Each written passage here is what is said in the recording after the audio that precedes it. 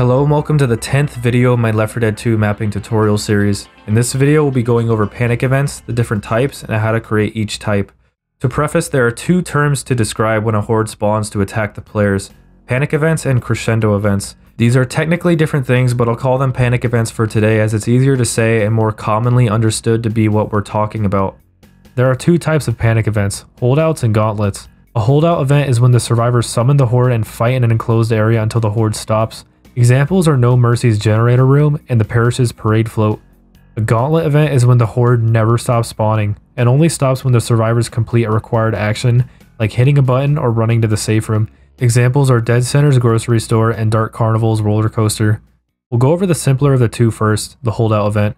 First, get your area that you've designed specifically as an arena for the holdout. I have one here already made, with weapons and medkits, areas for zombies to spawn, and a reason for the holdout to occur.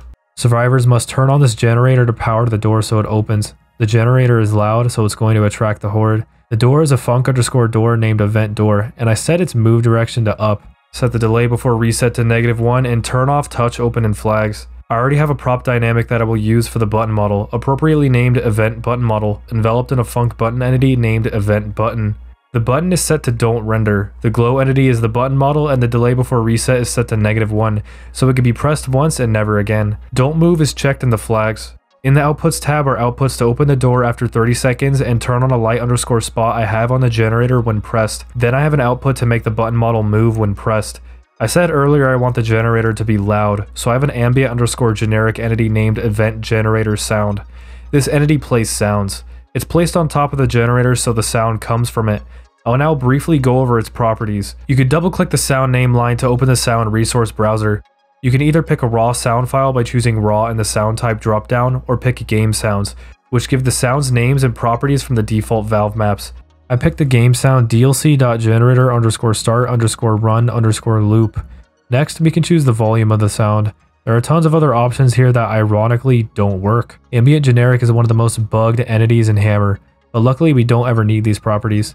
Next, go to flags. The first flag, play everywhere, means the sound will play at full volume anywhere around the map. I don't want that here, so it's unchecked. Start silent means the sound won't play until it is told via an input to do so. I want that, so it's checked.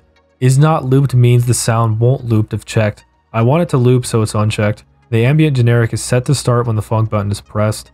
Now we need to go edit the map's nav mesh real quick. Open the map in Left 4 Dead 2 and type nav underscore edit 1 and z underscore debug 1. In most Valve maps, a holdout event's nav areas are marked with an attribute called Battlefield. This attribute does many things. Firstly, when all survivors are standing on it, no random hordes or specials will spawn. Then when the panic event starts, the infected use areas marked with Battlefield as places to spawn, and only these areas. When the panic event ends, the attribute's functionality effectively stops, and random hordes can spawn again. I'll now mark my area with the Battlefield attribute. I have a one-way drop here that I can use to lock players into the fight, and the battlefield attributes start here. Cover the whole area along with the infected only areas and stop at the door. When you're done marking, be sure to analyze the nav mesh with nav underscore analyze and save afterward. Finally, we need to actually make zombies spawn when we press the button. We can do this in two ways, the easy way or the semi-medium easy hard way. Let's try the easy way first. In video 4 where we made the nav mesh, we place an info underscore director entity in the map. We can use it to call hordes. In the func button, outputs, make a new one on pressed. Target the director entity, which should simply be named director, via this input panic event. Obviously, this input starts a panic event. Let's compile and see this all work in game. We've reached the panic event area. I'll press the button and everything works as intended. The button model moves, the generator sounds play, the lights turn on, and zombies come to fight us. After 30 seconds, the door moves on and we can leave. However, upon a closer inspection, we can see zombies are stuck behind the door and will either stay there until it opens or until they despawn. This is because they're trying to reach us from that area, but can't because the door is blocking them. We can stop this from happening by informing the AI that the path is blocked with a func underscore nav underscore blocker entity this is a brush entity that blocks all nav areas it touches, so AI don't path on or through them. Make a brush textured with the tools block underscore LOS texture, covering the whole doorway and turn it into a func underscore nav underscore blocker entity with control T. Name it something appropriate. I'll name it event nav blocker. Depending on what you want, you can have it block either survivors or infected with the teams to block option, but I'll leave it on everyone. this entity doesn't block nav areas by default. We have to use it in conjunction with a logic auto entity. Make a new output on map spawn, meaning it fires every time the map loads or restarts. Target the func nav blockers named event nav blocker. Via this input, block nav. Next, let's go to the func button that triggers the panic event and make a new output on pressed. Target the nav blocker via this input unblock nav. Because the door opens in 30 seconds, I'll set the delay for the unblocking to 30 seconds as well. In game, the nav areas the func nav blocker touches have the blocked underscore survivor and blocked underscore infected attributes. When we start the event, zombies won't get stuck trying to path through the door. Now I said earlier there was the easy way and the semi-medium easy hard way. We learned the easy way, now let's get into the second option, which is using vscripts, which we learned in the last video in this series. I call it the semi-medium easy hard way because even though creating the script itself is very easy, they come with their own drawbacks. For holdout events, a director script is not necessary to get it working because all that needs to happen is a wave of zombies to spawn. If you're satisfied with the results and the difficulty of the fight in game by using this easy way, then by all means don't change it. But might as well learn the second way for future reference. To make a holdout event script, we'll use what Valve likes to call a mini finale script. It's called that because this has the same formatting and logic as a finale script, but obviously miniature. These play out the event in stages. First stage could be a horde, followed by a delay, followed by another horde. In the description is a download to the template scripts that we will be using in this video. Ignore template underscore onslaught.nut. Template underscore minifinale.nut is the primary script, and template underscore end underscore minifinale.nut is the secondary script. Put them in your game's vscripts folder and name them appropriately. Open the primary script. The top line is a message that gets printed to the console when the script starts, so we can tell when it's running. The next four lines set variables that we can use to easily create stages. Next is the director options, which should be familiar if you watched the previous video in this series. A underscore custom finale underscore stage count should equal how many stages the script has. Right now we have two stages, so it equals two. A custom finale 1 equals panic, meaning this is a panic stage where common spawn. Because a custom finale value 1 equals 2, that means there will be two waves of commons. A custom finale 2 equals onslaught. The onslaught stage just starts a secondary script, defined by a custom finale value 2. It equals template underscore end underscore mini finale.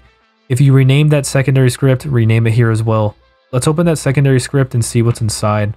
Again, the line at the top prints a message to the console, indicating it's working. A really cool thing you could do with vscript is fire inputs to entities in the map directly from the script, which can be utilized for many things. Here it's used to end the mini finale script when the event is complete.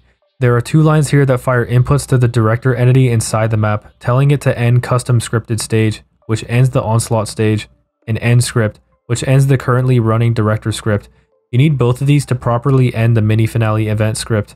Currently in our holdout area, the door opens 30 seconds after the button is pressed, meaning survivors can move on without clearing the event.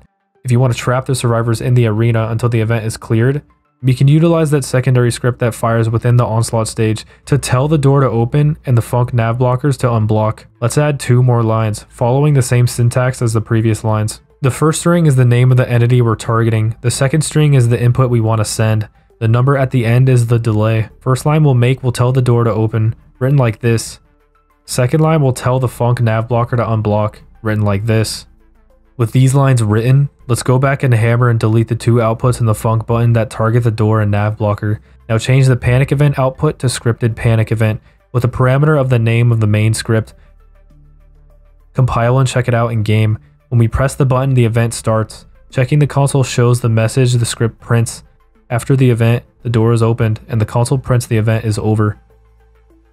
In the secondary script that's called in the onslaught stage, you could fire anything else you like. For example, if your map has a baseline director script, such as the ones I went over in the previous video, you can start it up again after the mini finale script is ended. Add a new line targeting the director begin script. Add a third string, that being the parameter override, with the name of the director script you want to start, with the delay being at the end. It should look like this. In game, we see that after the event is over, the script we put in fires. Remember that the main mini finale script is still a director script. We can change things like the zombie spawn range, what direction hordes to spawn, and more. Add any director options after the stages, in between the curly brackets. Let's now get into gauntlet events. These actually require director scripts to work, but it's still easy. Here I have a level already set up for a gauntlet event. Survivors will go through this metal detector which starts an alarm to attract the horde. The only way to turn it off and progress is to press the button on this generator over here. The button has outputs to unblock a Func nav blocker entity, open the door to allow survivors to progress, animate the button, and turn the alarm sound off.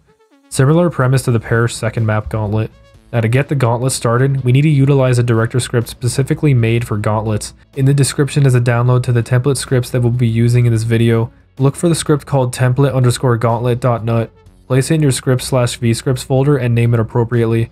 Open it up and take a look. It looks more like a traditional director script, and that's essentially all a gauntlet script is. It just accelerates the rate at which the director decides to spawn mobs. Nothing fancy like the previous mini finale script. You likely don't need to change anything in here. Remember, you can always add any options you want in here. In the trigger to start the event, I'll just make an output on trigger, target the director via the input begin script with a parameter of the gauntlet script name. Remember, since we're using triggers to start this, we need to set the survivor only filter for it. Now at the button to stop the event, we'll make an output on pressed, target the director via the input end script. Again, if your map has a baseline director script, you could start it after the event has ended here. Now, we have to do some things with the map's nav mesh, like the holdout event, except a little different. We have to mark the area that the gauntlet will take place with the empty and no threat attribute. This will ensure that no wandering infected are hogging spots for a horde, and that no tanks or witches will spawn inside the arena. I'm going to fast forward me selecting the whole area. With the whole gauntlet area selected, type in the console mark empty and mark no threat. The markings start at the dropdown and continue throughout the whole arena, even in the infected only spots. Analyze the nav mesh with nav underscore analyze, save with nav underscore save, and then turn on the director with director underscore start and playtest. We've reached the trigger. Going through it starts the event and zombies come to attack us. It doesn't stop until we turn off the alarm. That's it for panic events. They're the defining features of any campaign. Be creative when making them, because they're what's most remembered in a map. They should be difficult but not too overbearing, and most importantly, fun. Next video will be about creating the hint pop-ups you frequently see in maps. Thank you for watching.